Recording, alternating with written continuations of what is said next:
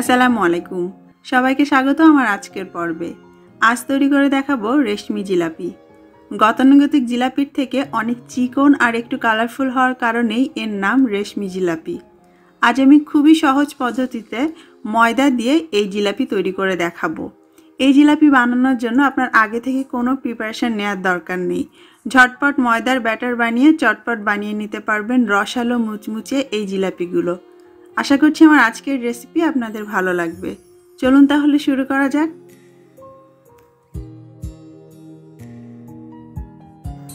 এই জিলাপি বানানোর জন্য সবার প্রথমে আমাদেরকে শিরা তৈরি করে নিতে হবে। কারণ শিরাটা আমরা গরম নয়, হালকা গরম অবস্থায় ব্যবহার করব। তাই আগে বানিয়ে রাখলে আমাদের জিলাপি ভেজানোর সময় এটা আমাদের পছন্দ মতো গরম অবস্থায় থেকে যাবে। তার জন্য একটা হাঁড়িতে আমি দুই কাপ চিনির সঙ্গে এক কাপ পানি মিলিয়ে নিলাম। এটাই হচ্ছে পারফেক্ট জিলাপির শিরার রেশিও যতটুকুন চিনি, তার অর্ধেক পরিমাণ পানি। তবে এখানে একটা জিনিস খেয়াল করতে হবে, এই শিরাটা যেন অতিরিক্ত আঠালো বা চটচটে না হয়।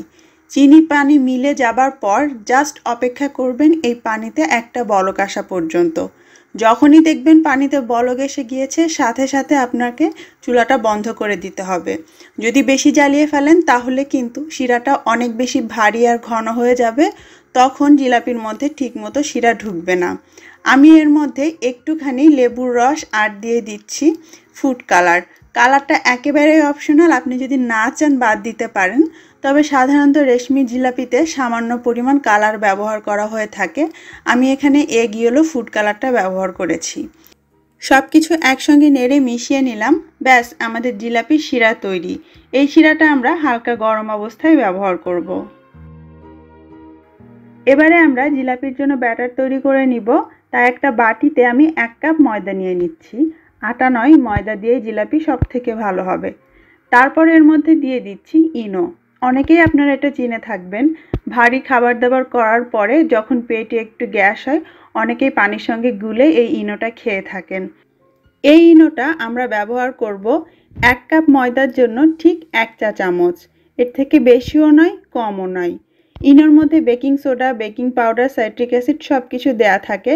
তাই আপনাকে আলাদা করে আর কোনো কিছু এতে অ্যাড করতে হবে না, টক দই, ইস্ট, কিচ্ছু না। শুধু ময়দার সঙ্গে ইনোটাকে ভালো করে একটু মিশিয়ে নিতে হবে।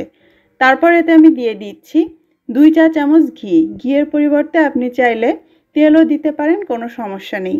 তবে যেটাই দেন না কেন, সেটাকে ময়দার সঙ্গে খুব ভালো করে মিশিয়ে নিতে হবে। হাত দিয়ে ডলে ডলে ভালো করে এইভাবে মিক্স করে নিচ্ছি।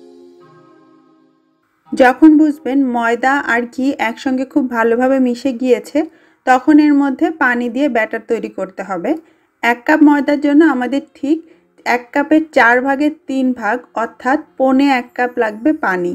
ঠান্ডা নয়, গরম নয়, কুসুম গরমও নয়, নর্মাল পানি দিয়ে আমরা ব্যাটার মাখাবো। প্রথম ধাপে আপনাকে আধা কাপ পানি ঢেলে দিতে হবে, তারপর এটাকে ভালো করে একটু মেখে নিতে হবে। তাতে পরবর্তীতে ব্যাটারে আমাদের কোনো দানা বা লামস থাকবে না।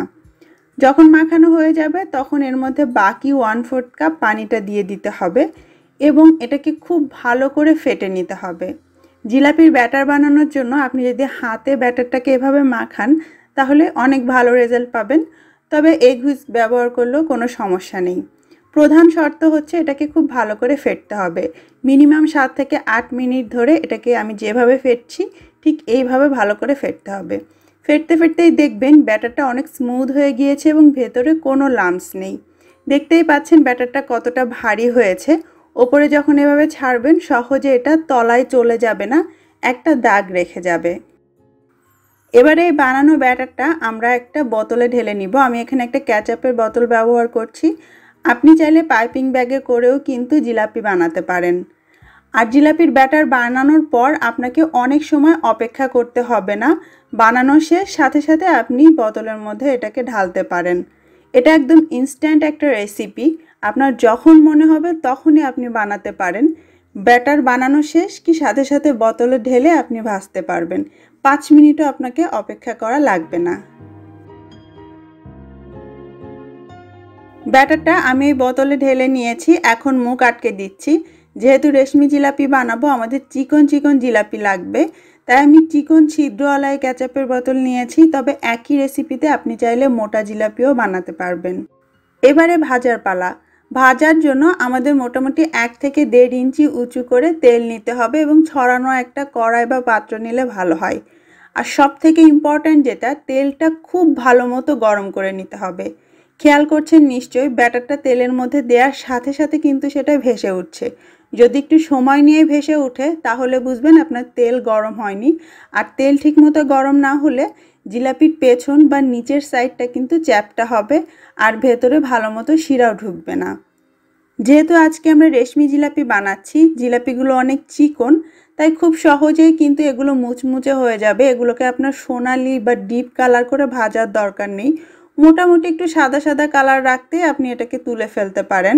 মোটা জিলাপি হলে সেক্ষেত্রে আপনি একটু কালার করে তারপর এটাকে নামাবেন।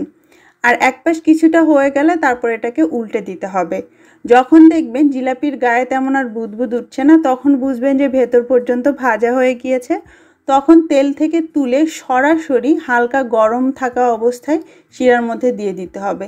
একটু অপেক্ষা করা যাবে না যে তেল থেকে উঠিয়ে আপনি একটা প্লেটে রাখলেন, তারপর শিরাতে দিলেন, এমনটা নয়। সরাসরি ওই গরম শিরার মধ্যে দিয়ে এটাকে চুবিয়ে রাখতে হবে কিছুক্ষণ, তারপর আপনাকে শিরা থেকে তুলে নিতে হবে।